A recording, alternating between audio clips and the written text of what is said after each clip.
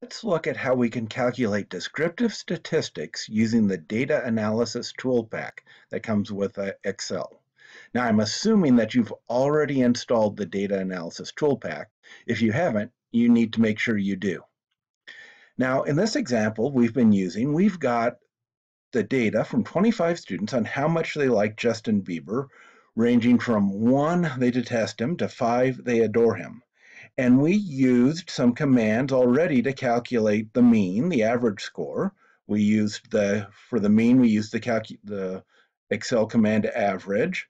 For the standard deviation, we used the Excel command standard deviation, and we entered in all the scores. Now we're going to use the data analysis Toolpak that will calculate um, a bunch of statistics all at once for us. So to go to the data analysis Toolpak, you have to make sure it's installed.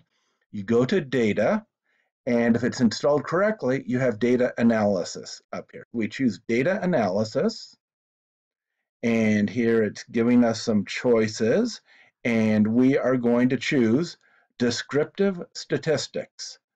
So we choose OK, and the first thing it asks us are the input range and also if we have the label there. So let's let's choose the label.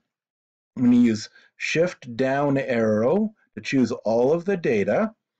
And so now the input range goes from C2 to C27.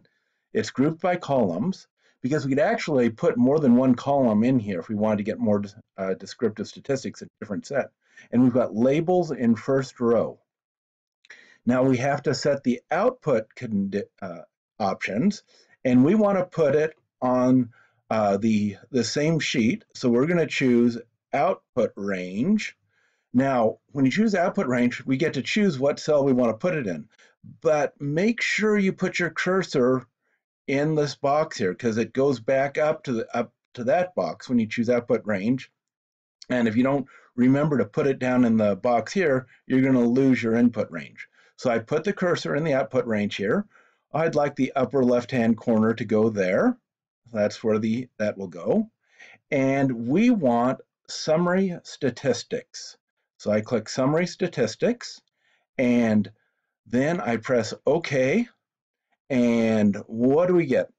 We let's make this a little wider so we can read everything. Let's stretch out each column.